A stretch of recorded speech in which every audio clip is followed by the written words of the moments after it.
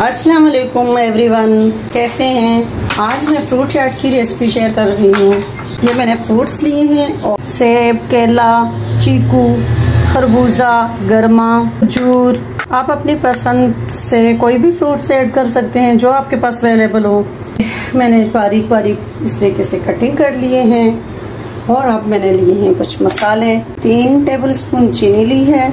Half teaspoon half tablespoon काली मिर्ची, half teaspoon काला नमक, chaat masala, one tablespoon और ये मैंने क्रीम ली है।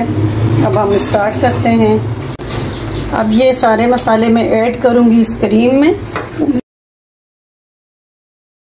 और इसको करेंगे मिक्स। अब ये मैं ऐड करूँगी क्रीम।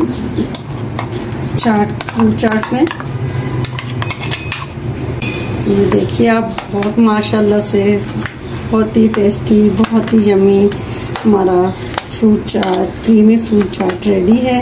इसको ठंडा ठंडा करके आप अफ्तारी में सर्व करें। और अगर मेरी वीडियो आपको अच्छी लगे तो प्लीज़ लाइक शेयर कमेंट ज़रूर करें। और मेरे चैनल को सब्सक्राइब करें।